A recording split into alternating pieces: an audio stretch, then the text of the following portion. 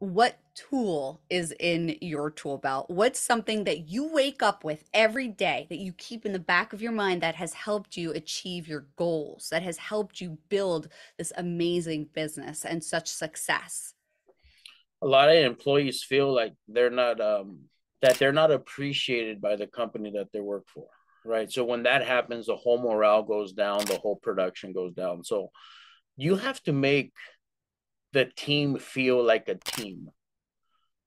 Okay, you have to make them feel like they're part of something, that they're part of a company that cares for them and, you know, that wants to look out for them as best as I can.